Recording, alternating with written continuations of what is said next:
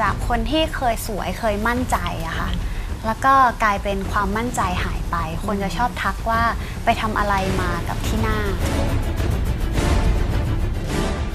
แฟนที่คบอยู่ที่แพลนจะแต่งงานกันนะคะก็ไปคบกับคนอื่น ธุรกิจมีปัญหา แล้วก็คนที่เคยยืมเงินเราค่ะ ก็ไม่คืน ก็ทำให้เราติดลบหนักหลายล้านบาท เคยคิดอยากฆ่าตัวตายวันละหลายครั้งเลยรู้สึกว่าไม่อยากอยู่แล้ว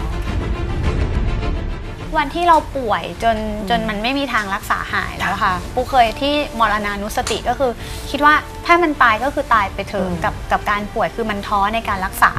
แต่เขาบอกว่าถ้าเราถ้าคนที่จะตายแบบมีศักดิ์ศรีเนี่ยเขาเราต้องตายแบบสร้างอะไรดี ๆ ไว้กับให้คนที่อยู่ข้างหลัง มีผลงานอะไรดี ๆ ให้กับคนอื่นที่ได้ใช้ประโยชน์จากเรา เราจะไม่ตายแบบไร้ค่า แล้วมันทำให้ปูลุกขึ้นมาฮึดว่าปูอะคือสามารถมีประโยชน์อะไรกับโลกใบนี้ได้บ้างอื มมันทำให้ปูอะฮึดขึ้นมาแบบสู้ว่าเอ้ยฉันต้องหายฉันต้องดีขึ้น